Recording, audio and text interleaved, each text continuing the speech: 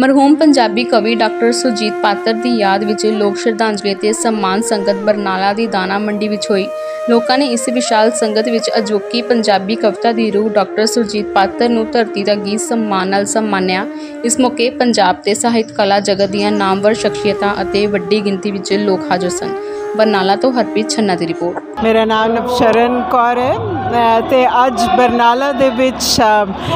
ਗੁਰਸ਼ਰਨ ਸਿੰਘ ਲੋਕ ਸਲਾਮ ਕਾਫਲੇ ਵਜੋਂ ਮ- ਮਹਿਰੂਮ ਕਵੀ ਸੁਰਜੀਤ ਪਾਤਰ ਜੀ ਦੀ ਨੂੰ ਸਜਦਾ ਕਰਨ ਵਾਸਤੇ ਪੰਜਾਬ ਭਰ ਤੋਂ ਕਿਸਾਨ ਮਜ਼ਦੂਰ, ਲੇਖਕ, ਕਵੀ, ਬੁੱਧੀਜੀਵੀ ਅੱਜ ਇੱਥੇ ਇਕੱਠੇ ਹੋਏ ਹਨ। ਉਹ ਲੇਖਕ ਜਿਨੇ ਪੰਜ ਦਹਾਕੇ, ਉਹ ਕਵੀ ਜਿਨੇ ਪੰਜ ਦਹਾਕਿਆਂ ਤੋਂ ਵੱਧ ਪੰਜਾਬ ਦੇ ਲੋਕਾਂ ਦਾ ਦੁੱਖ, ਦਰਦ, ਉਹਨਾਂ ਦੇ ਤੌਖਲੇ, ਇੱਛਾਵਾਂ, ਉਹਨਾਂ ਦੇ ਸੰਘਰਸ਼ਾਂ ਨੂੰ ਆਪਣੇ ਗੀਤਾਂ ਦੇ ਵਿੱਚ ਪਰੋਇਆ ਤੇ ਪੰਜਾਬ ਦੀ ਧਰਤੀ ਦੇ ਉੱਤੇ ਲੋਕਾਂ ਨੂੰ ਆਪਣੇ ਸੋਹਣੇ ਬੋਲਾਂ ਦੇ ਨਾਲ ਨਵੀਂ ਤਰੀਕੇ ਦੇ ਨਾਲ ਸੋਚਣਾ ਸਿਖਾਇਆ। ਉਹ ਕਵੀ ਦੇ ਤੁਰ ਜਾਣ ਤੇ, ਉਸ ਕਵੀ ਦੇ ਤੁਰ ਜਾਣ ਤੇ ਅੱਜ ਸਾਰਾ ਪੰਜਾਬ ਉਦਾਸ ਹੈ ਤੇ ਉਹਨੂੰ ਸਜਦਾ ਕਰਨ ਲਈ ਅੱਜ ਇੱਥੇ ਇਹ ਇਕੱਠ ਹੋ ਰਿਹਾ ਹੈ। ਇਹ ਬੜਾ ਜ਼ਰੂਰੀ ਹੈ ਕਿ ਅਸੀਂ ਇਹ ਜਾਣੀਏ ਕਿ ਸੁਰਜੀਤ ਪਾਤਰ ਸਿਰਫ ਇੱਕ ਕਵੀ ਨਹੀਂ ਸੀ। ਸੁਰਜੀਤ ਪਾਤਰ ਇੱਕ ਗਵਾਹ ਸੀ ਪੰਜਾਬ ਦੇ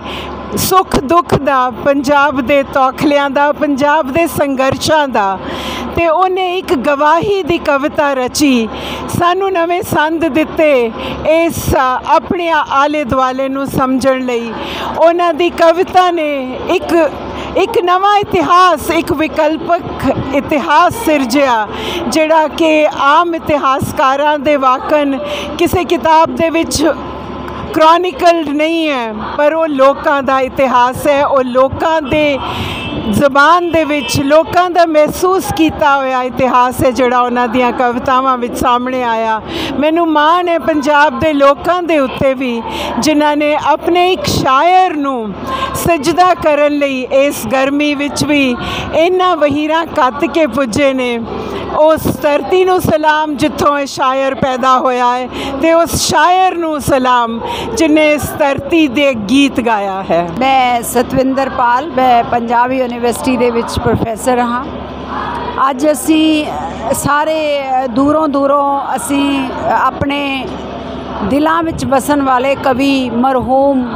ਡਾਕਟਰ ਸੁਰਜੀਤ ਪਾਤਰ ਜੀ ਨੂੰ ਸਿਜਦਾ ਕਰਨ ਲਈ ਉਹਨਾਂ ਨੂੰ ਆਪਣੇ ਦਿਲ ਦੀਆਂ ਗਹਿਰਾਈਆਂ ਚੋਂ ਭਾਵ ਭਿੰਨੀ ਸ਼ਰਧਾਂਜਲੀ ਦੇਣ ਲਈ ਉਹਨਾਂ ਨੂੰ ਯਾਦ ਕਰਨ ਲਈ ਇਕੱਠੇ ਹੋਏ ਆ।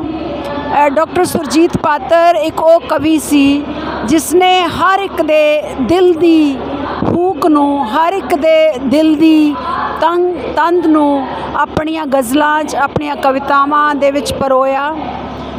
ਪੰਜਾਬ ਦਾ ਸ਼ਾਇਦ ਹੀ ਕੋਈ ਵਿਰਲਾ ਉਹ ਹੋਏਗਾ ਵਿਅਕਤੀ ਜੋ ਪੰਜਾਬੀ ਜਾਣਦਾ ਹੋਵੇ, ਪਰ ਜਿਸ ਨੇ ਸੁਰਜੀਤ ਪਾਤਰ ਨੂੰ ਨਾ ਪੜਿਆ ਹੋਵੇ ਔਰ ਜਿਸ ਨੇ ਸੁਰਜੀਤ ਪਾਤਰ ਨੂੰ ਆਪਣੀ ਜ਼ਿੰਦਗੀ ਦੇ ਵਿੱਚ ਨਾ ਹੰਡਾਇਆ ਹੋਵੇ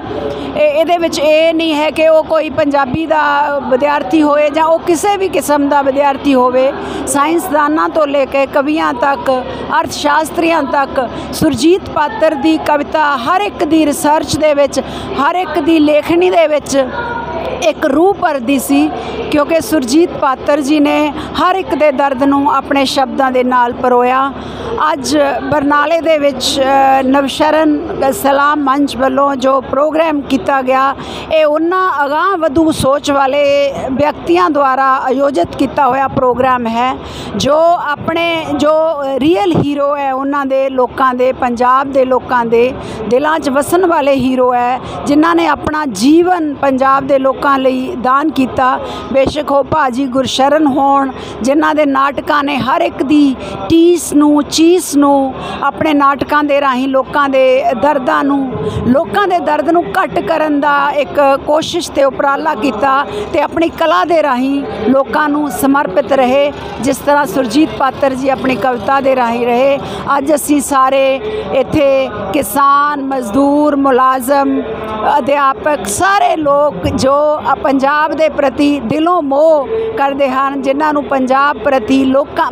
ਮਾਨਵਤਾ ਦੇ ਪ੍ਰਤੀ ਪਿਆਰ ਹੈ, ਉਹ ਆਪਣੇ ਹਰਮਨ ਪਿਆਰੇ ਆਪਣੇ ਮਹਿਬੂਬ ਕਵੀ ਨੂੰ ਸ਼ਰਧਾਂਜਲੀ ਦੇਣ ਲਈ ਅਸੀਂ ਇੱਥੇ ਪਹੁੰਚੇ ਹਾਂ ਔਰ ਅਸੀਂ ਅੱਜ ਉਹਨਾਂ ਨੂੰ ਯਾਦ ਵੀ ਕਰਾਂਗੇ ਔਰ ਉਹਨਾਂ ਦੀਆਂ ਦਿੱਤੀਆਂ ਹੋਈਆਂ ਕਵਿਤਾਵਾਂ ਤੇ ਸੇਧ ਨੂੰ ਆਪਣੀ ਜ਼ਿੰਦਗੀ ਦੇ ਵਿੱਚ ਵੀ ਪਹਿਨਾ ਕੇ ਲੈ ਕੇ ਜਾਣ ਦਾ ਅਹਿਦ ਕਰਦੇ ਹਾਂ ਔਰ ਸਭ ਨੂੰ ਕਰਵਾਉਨੇ ਵੀ ਹਾਂ ਤਾਂ ਕਿ ਜਦੋਂ ਕਦੇ